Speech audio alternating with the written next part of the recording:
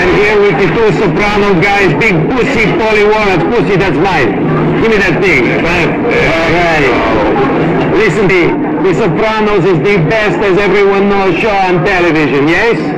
For me to football! Open your mouth, man. What, what, what? Hey. Oh, tough guy, tough guy. You don't scare me, man. The vet already chopped my nuts off. What are you going to do? Hey, big pussy, let me tell you something. I- I'm not impressed, you know. You want to know about big have sex with the chihuahua after she gives birth to nine kids. That's what we're talking about, okay?